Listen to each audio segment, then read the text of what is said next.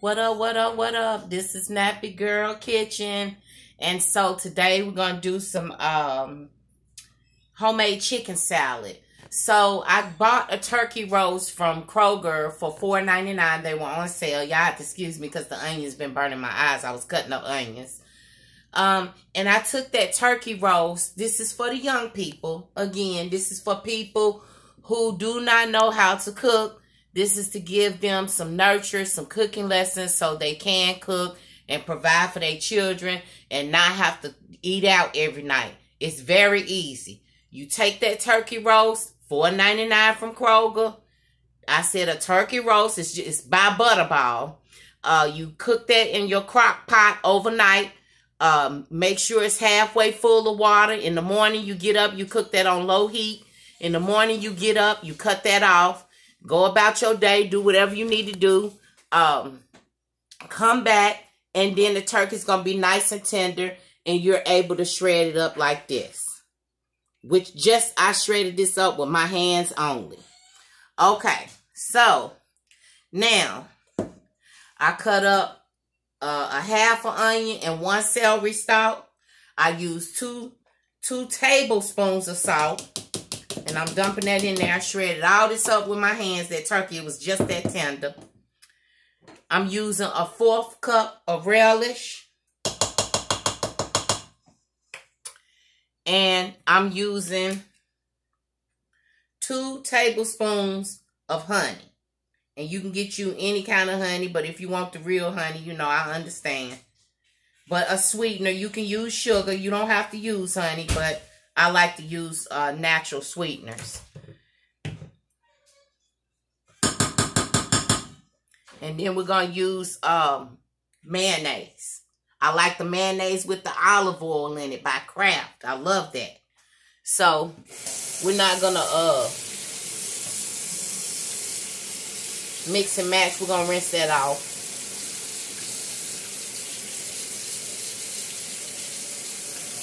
And me, for my mayonnaise, this is what I do. Tablespoon, start stirring. We know that a tablespoon is not going to be enough for this. I didn't use a lot of onions, although I love onions, but I have a I have a child that doesn't like onions. And see, by you sweetening this, by you buying the turkey roast, you're going to get white and dark meat. So, uh, by you sweetening this, you can you can eat it with saltine crackers. You can eat it with Ritz crackers if you want to. But um, here we go with another one. That's two. And I don't like my food real mayonnaise. I'm not a mayonnaise person, so I don't. And this is my towel that I wipe my hands off with. But you know, you can. We we trying to do this for the young people Use stuff that you have in your house, but you can add grapes, you can add walnuts, you can, I mean, anything you want to do to spice this up. But for me right now, I'm just doing the basic for y'all so y'all can see how to make homemade chicken salad. It's so easy. Lord have mercy. Like I said, a butterball turkey roast. Uh, put that in your crock pot. Fill it up halfway with water. Season it. Probably about two cups of salt. Because you got a whole little roast. Let that cook overnight in your crock pot on low. Come back in the morning, turn it off. Let it cool all the way down. Come back, shred it up with your hands. Cut you up a half an onion if you like onions. A celery stalk. Uh, a fourth cup of relish, sweet relish. If you don't know what relish is, there it is, a sweet relish.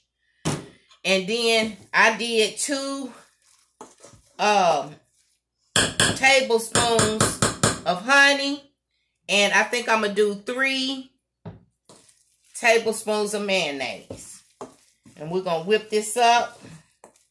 Because this is a quick meal for me and my girls. And if you want to, you can make a turkey melt with it on toast with cheese for your babies. This is a way so these young girls can feed these babies and quit putting these chemicals in these babies. Feed them so they can use their brain the right way.